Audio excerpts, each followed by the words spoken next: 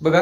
आपला जो next topic आपल्याला घ्यायचा आहे तो टॉपिक म्हणजे कन्स्ट्रक्शन ऑफ ट्रायंगल्स ठीक आहे फोर नंबरचा जो टॉपिक आहे आपला कन्स्ट्रक्शन ऑफ ट्रायंगल आता बघा. कन्स्ट्रक्शन ऑफ ट्रायंगल्स काढताना आपल्याला तर यामध्ये दिलेल्या इन्फॉर्मेशननुसार आपल्याला कन्स्ट्रक्शन ऑफ ट्रायंगल करावं लागतं ठीक आहे आता याच्यामध्ये काही बेसिक असतात कन्स्ट्रक्शन ऑफ़ ट्रायंगल मध्ये तुम्हाला बघा साइड परपेंडिक्युलर करणं आलं पाहिजे. ठीक आहे किंवा सेगमेंट परपेंडिक्युलर काढणे. ठीक आहे बरं, एक एक्झाम्पल आपलं बेसिक बुक आपण समजा. Draw draw perpendicular of segment AB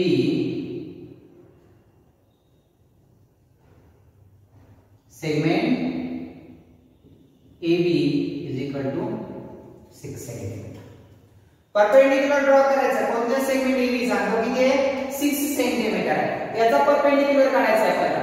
perpendicular आता परपेंडिक्युलर कसा ड्रॉ केला जातो? सेगमेंट AB किती आहे अगोदर 6 सेंटीमीटर मग तुम्हाला काय करावं लागणार स्केलच्या सहाय्याने. ठीक आहे? स्केल पट्टीच्या सहाय्याने तुम्हाला 6 सेंटीमीटर काढावं लागणार ठीक आहे बघा 6 सेंटीमीटर सेगमेंट घेऊ आपण अगोदर घेतली सेगमेंट काय नाव याचं A and B segment A B किती आहे segment A B six centimetre A B हा जो आहे तो six centimetre segment A B चा आपल्याला परपेंडिक्युलर काढायचा आहे. काय काढायचं आहे परपेंडिक्युलर बायसेक्टर काढायचं. परपेंडिक्युलर आता परपेंडिक्युलर बायसेक्टर काढताना कसं काढला जातो बघा? ज्या वेळेस तुम्हाला सेगमेंट दिला असेल त्या सेगमेंटचा मेजर जे आहे ते मोर दॅन हाफ काय घ्यायचं? मोर दॅन हाफ अर्ध्यापेक्षा जास्त अंतर घ्यायचं याचं मेजर मोर दॅन हाफ अर्ध्यापेक्षा जास्त अंतर घेतला ए वर ठेवायचं. किती घेतलं मेजर याच्या अर्ध्यापेक्षा जास्त अंतर. ए वर ठेवला. वरच्या साईडला चौक घेतला खालच्या साईडला चौक कोणत्या पॉइंटवरून ए पॉइंट वर याचा अर्ध्यापेक्षा जास्त अंतर घेतलं वर एक चौक ओढला खाली एक चौक ओढला तेच मेजर ठेवलं बी पॉइंट वर ठेवला, आणि त्या ओढलेल्या चौकला काय केले आपण? क्रॉस चॉप ओढले ठीक आहे क्रॉस चॉप ओढले बघा ठीक आहे आणि आता काय करायचं? या दोन्ही चॉप मधून जाणारी रेषा ओढून घ्यायची ड्रॉ करून घ्यायची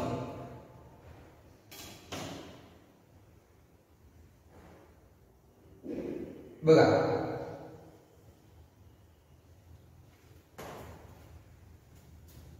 झाला हा झाला परपेंडिक्युलर बायसेक्टर या स्वरूपामध्ये आपण परपेंडिक्युलर बायसेक्टर म्हणजे परपेंडिक्युलर बायसेक्टर ड्रॉ करताना अगोदर काय करायचं जो सेगमेंट दिला असता त्या सेगमेंटचा अर्ध्यापेक्षा जास्त अंतर घ्यायचं इकडच्या पॉइंटवर ठेवून साईडला आणि खाली साईडला चॉप पडायचा तेच मेजर ठेवायचं इकडच्या साईडवर आपण दोन चॉप पडले दोन्ही चॉप मधून जाणारी लाईन ड्रॉ करून घेतली की त्याचं काय भेटतो आपल्याला परपेंडिक्युलर बायसेक्टर आता परपेंडिक्युलर बायसेक्टर भेटतो आपल्याला आहे आता याच्यानंतर जर त्यांनी भाग दिलेला आहे परपेंडिक्युलर बायसेक्टर झाल्यावर जो म्हणजे कन्स्ट्रक्शन ऑफ़ ट्रायंगल्स ठीक आहे construction of triangles triangles construction ठीक आहे परपेंडिक्युलर कसं काढायचं कळलं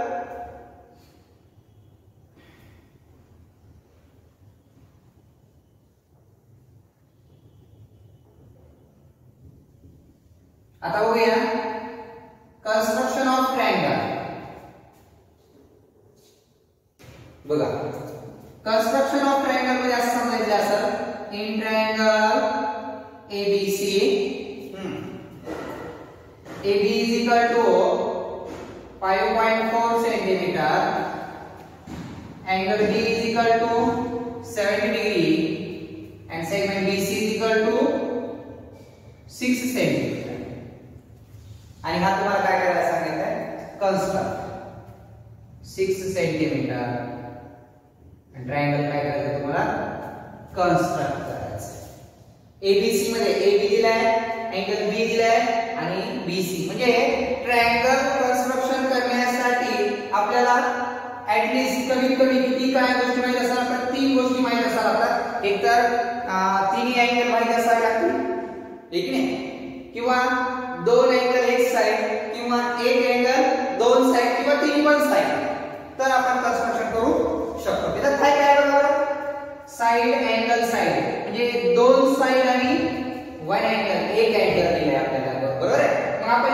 इन्फॉर्मेशन नुसार जर एक अनालिटिकल फिगर जर काढली रफ डायग्राम ठीक की नाही रफ डायग्राम कशासाठी काढायची असते किंवा आपल्याला दिलेल्या इन्फॉर्मेशन नुसार त्याचे मेज़रमेंट घेता येतात आहे की नाही कोणती साईन कशी दिली आहे किंवा डायग्राम कशी तयार होईल बघा समजा हा ट्रायंगल आहे ए बी सी आहे रफ डायग्राम काढू शकता. फक्त ट्रायंगलचा आकार यावा त्याला हा बी किती आहे? बी 5.4 अँगल बी हा बी अँगल 70 आणि सी 6 सेंटीमीटर आता या इन्फॉर्मेशन नुसार दिले म्हटल्यावर, काढताना तुम्हाला अगोदर काय करावं लागेल? बेस घ्यावा लागेल बेस कधी डायग्राम बेस पासून जावा म्हणजे बीसी जो आहे तो आपल्याला अगोदर घ्यावा लागेल. घ्या मग बीसी किती बघा? बीसी जो आहे तो किती आहे?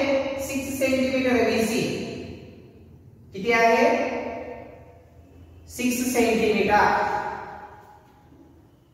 बीसी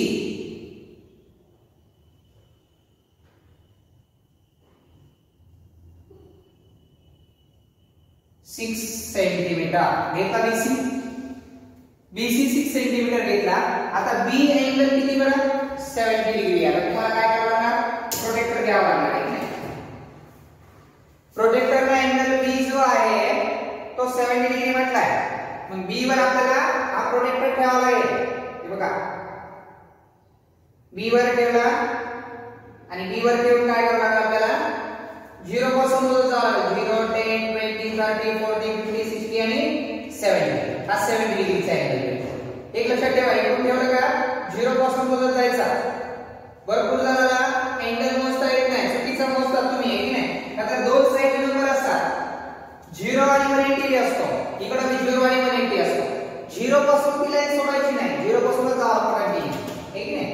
बघा हा झाला सेव्हन्टी डिग्रीचा अँगल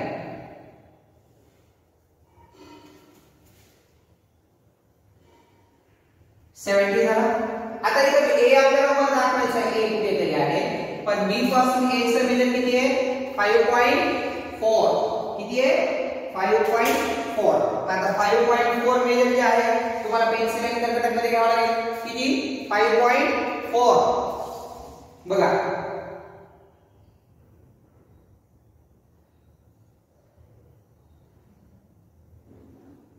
हम्म घेतलं 5.4 आता 5.4 म्हणजे बी वर ठेवावं लागेल पॉइंट बी वर ठेवायचं आणि त्यावर चॉप करायचं हे बघा इथे चॉप होतं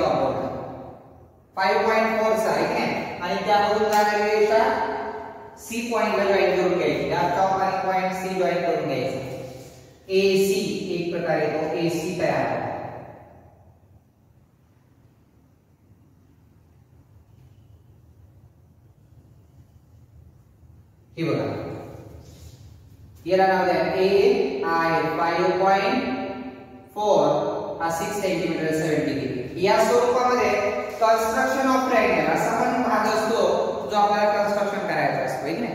कन्स्ट्रक्शन ऑफ ट्रायंगल जो या स्वरूपामध्ये पण असतो ठीक नाही? आपल्याला एवढे सिंपल नाही कन्स्ट्रक्शनचा भाग. याच्या पुढची जी स्टेप आहे त्या आपल्याला दिलेल्या आहेत त्याच्यामध्ये कन्स्ट्रक्शन ऑफ ट्रायंगलमध्ये. आता कन्स्ट्रक्शन ऑफ ट्रायंगलमध्ये कोणत्या टाइप्समध्ये दिलाय? हा बेसिक होता ठीक नाही? आता आपल्याला जो आपल्याला नाईन स्टँडर्डमध्ये कन्स्ट्रक्शन ऑफ ट्रायंगल दिलाय तो कशा टाइप्समध्ये आहे? तो बघूया. इथं आलं इझी आहे का? किंवा तिन्ही साइड दिली असतात तर 5.4 हा अँगल घेतला असता आपण इकडे एक चॉप बोर्ड असता इकडून एक चॉप दोन्ही एकत्रित करून ट्रायंगल जॉईन करून घेतला असता ठीक नाही जर तिन्ही साइड दिल्या असत्या तर नाही? बरोबर आहे? बर ठीक आहे. बघूया जो आपल्याला नाईन स्टँडर्डमध्ये जो कन्स्ट्रक्शनचा भाग जो दिलेला आहे ठीक आहे? तो कशा पद्धतीनं ड्रॉ केला जात आहे? तो हो गया parcel construction first to construct a triangle to construct a triangle to construct a triangle when its base when its best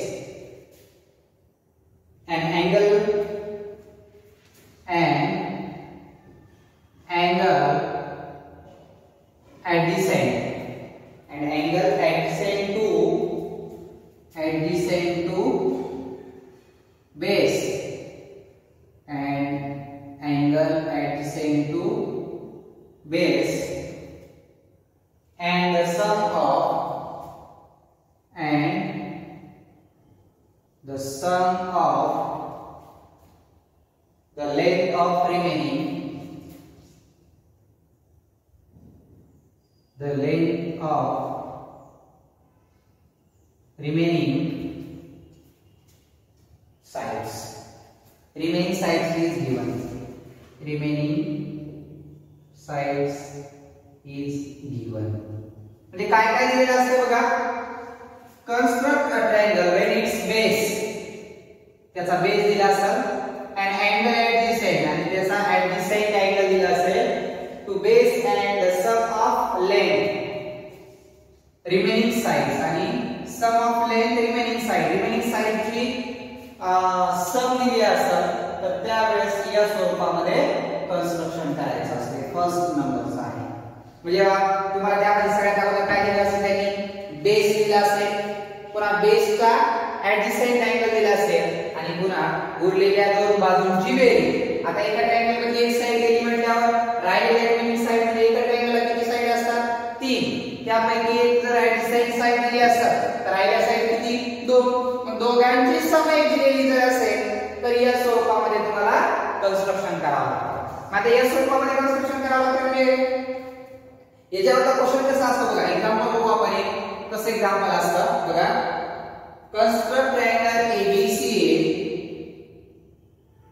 construct triangle ABC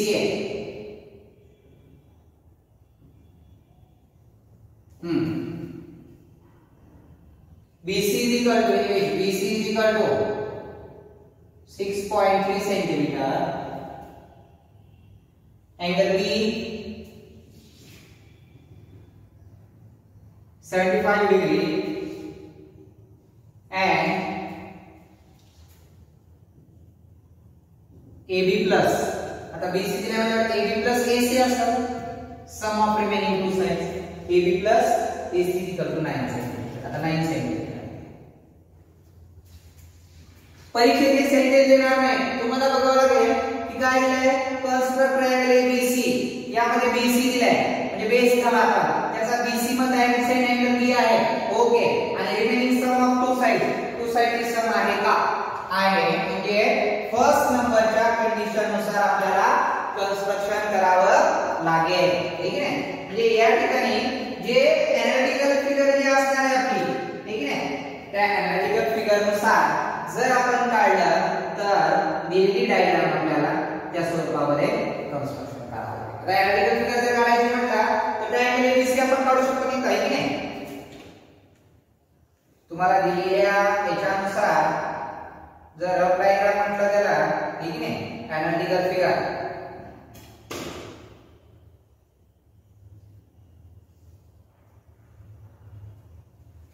पाच काय म्हणता याला? ट्रायंगल एबीसी आहे बी अँगल किती आहे बी अँगल 75 आणि BC किती आहे 6.3 आणि AB आणि AC दोघं मिळून किती तर 9 सेंटीमीटर म्हणजे या स्वरूपात तुमची एनालिटिकल फिगर असेल आता एनालिटिकल फिगर आहे म्हटल्यानंतर या दोघांची सम मिळून 9 सेंटीमीटर आता याचं कन्स्ट्रक्शन कसं करायचं असतं ठीक आहे या स्वरूपात जर तुम्हाला दिलेलं असेल तर याचं कन्स्ट्रक्शन कशा पद्धतीने करायचं? हे बघूया. आता ठीक नाही? कोणत्या टाइपमध्ये करायचं आहे बेस दिलाय बीसी त्याचा त्या बेसचा ऍडजसेंट अँगल दिलाय बी आणि length of remaining two sides sum of length of remaining two sides sum दिले मग याच्यानुसार कन्स्ट्रक्शन कसं करायचं ते बघूया. एक क्वेश्चन थोडा मोठो कारण की आपल्याला कन्स्ट्रक्शन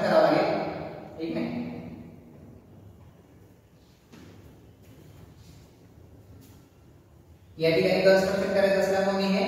जो पहिला टाइप्स आपल्याला याच्या या पहिल्या टाइप्सवर एक पूर्ण प्रॅक्टिस आहे बघा एक पूर्ण प्रॅक्टिस आहे याच्यावर आधारित आहे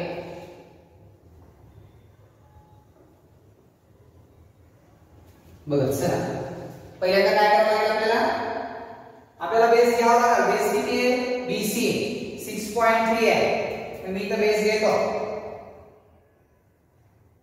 six point three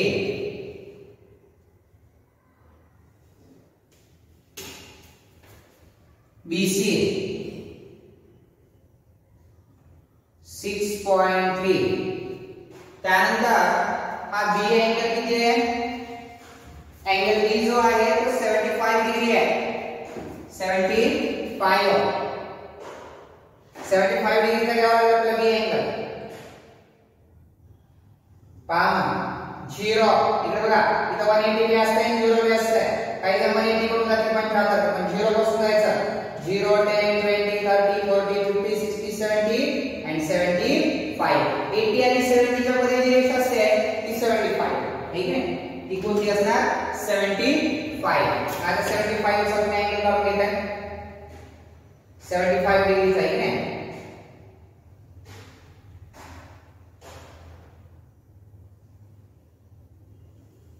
तो भाई 75 डिग्रीचा एंगल काढून व्हाट करेगा नाही करा पूर्व हा जो पुढा भाग आहे दिलेला तो वाढवून घ्या बघा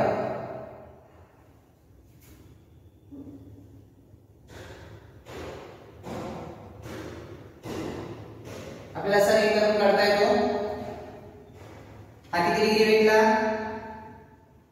75 आता 75 डिग्री झाल्याच्या नंतर आता काय करावं लागेल आपल्याला दिलेले मेज़रमेंट कसं होईल आता आपल्याला BC AB plus AC AB plus AC किती आहे 9 सेंटीमीटर AB प्लस AC आता हे 9 सेंटीमीटर आहे तुमच्या पेन्सिल आणि कर्कटामध्ये तुम्हाला दोघांच्या सम एवढा अंतर घ्यावा लागतात दोघांच्या सम जे असेल हे 9 सेंटीमीटर अंतर घ्यावं लागेल तुम्हाला. किती घ्यावं लागेल?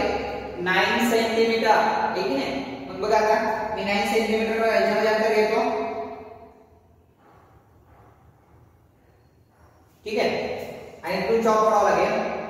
बघा, मी दोन लाईन करतो. हे मी 5.4 आणि सॉरी 4.5 आणि 4.5 माझा नाईन इथे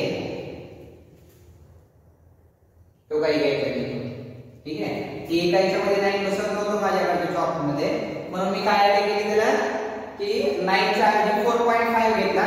इथे एक पॉईंट ला इथून पुन्हा चॉप करा म्हणजे टोटल किती झाला माझ्याकडचं नाईन तुमच्या पेन्सिलकडे 9 सेंटीमीटर बसता याच्यामध्ये आता ठीक आहे?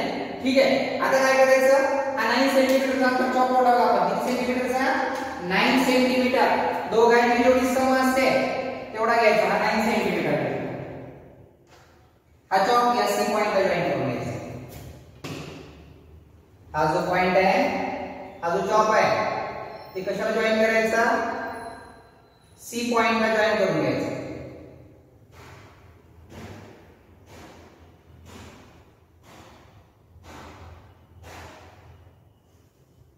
बघा.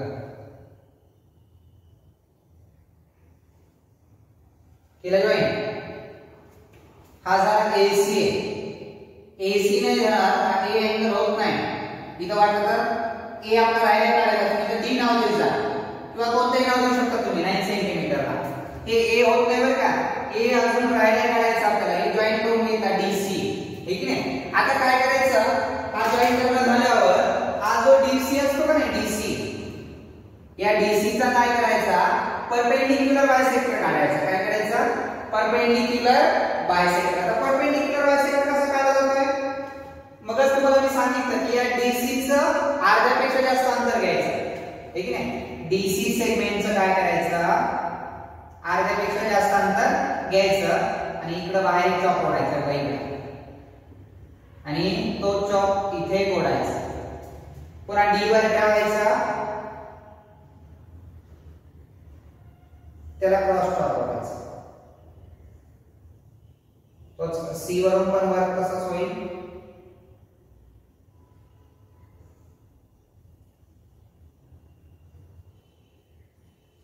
डी वर ठेवून त्याला क्रॉस टॉप करायचा आहे. हे इथं जॉब दोन्ही काय झाले? आता दोन्हीतून जाणारे रेषा ओढून घ्यावं. लागेल कसं गाणे आलं का? डीसी च अर्ध्यापेक्षा जास्त अंतर घेतला इकडे चॉप आहे चॉप ओढला आपण डी वर ठेवून याला क्रॉस ओढला ठीक आहे? आता या दोन्हीतून जाणारी रेषा काढून घ्यायची आपण म्हणजे परपेंडिक्युलर बायसेक्टर काढा. आपण कोणाचा? डीसी चा परपेंडिकुलर बायसेक्टर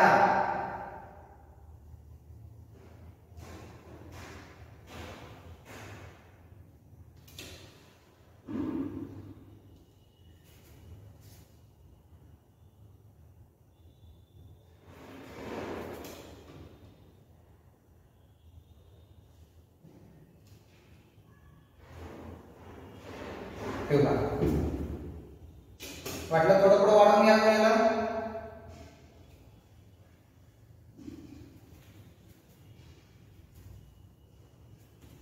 हा परपेंडिक्युलर बायसेक्टर आहे या दोन साइड काय झाल्या कॉन्ग्रॅट झाल्या आता याचा जो परपेंडिक्युलर बायसेक्टर या रेषेला इथे जॉईन झाला आहे इकडच्या रेषेला इकडे जॉईन करून घ्यायचा तो चॉप नाही बंद जोडायचा चॉपला जॉईन नाही करायचा त्या रेषेला ज्या पॉइंट मध्ये इंटरसेक्ट झाला असं त्याला जॉईन करायचं आणि याला नाव काय द्यायचं मग? ए आता हा बी आणि ए हे दोघं मिळून सेंटीमीटर तयार झाले. म्हणजे या स्वरूपात तुम्हाला कन्स्ट्रक्शन करायचं म्हणजे सम जे असते, ते सम अगोदर घ्यायची आणि त्या उभ्या जो हा उभा रे असतो काढलेला आपण 75 चा त्यावर 9 सेंटीमीटरचं अंतर घ्यायचं किंवा नाईन म्हणजे या दोघांची जी सम असते ते सम आपण त्या ठिकाणी घ्यायचे आणि त्या समचा चॉप काय करायचा? यावर चॉप ओढायचा नंतर काय करायचं? तो चॉप आणि हा इकडचा जो पॉइंट होता तो जॉईन करून घ्यायचा. बरोबर आहे? तो काय करायचा? जॉईन करून घ्यायचा. मग जॉईन करून घेतल्यावर काय करायचं पुन्हा? हा जो आपण जॉईन करून घेतलेला जो सेगमेंट असतो त्याचा आपल्याला परपेंडिक्युलर बायसेक्टर काढावा लागतो. काय काढावा लागतो? परपेंडिक्युलर बायसेक्टर परपेंडिक्युलर बायसेक्टर कसा काढला जातोय? किंवा या सेगमेंटचं अर्ध्यापेक्षा जास्त अंतर घ्यायचं. मोर दॅन हाफ अर्ध्यापेक्षा जास्त अंतर घ्यायचं. मग ते सी वर ठेवायचं. इकडे चॉप ओढायचा. तो चॉप इकडे ओढला पुन्हा तेच मेजरमेंट डी वर ठेवायचं. आणि त्या दोन्ही चॉपला काय करायचे? क्रॉस चॉप ओढून आणि हे दोन्ही चौक जिथे इंटरसेक्ट होतात त्यातून जाणारी रेषा ड्रॉ करून घ्यायची. मग आता ही जी रेषा आपण काढलेली आहे इकडच्या साईडला कुठे जॉईन होते? या ठिकाणी नाही? इथून इथं रेषा काय करून घ्यायची?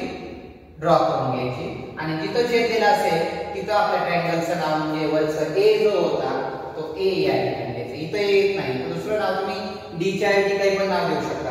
आपला कन्स्ट्रक्ट ट्रायंगल कोणता झाला का?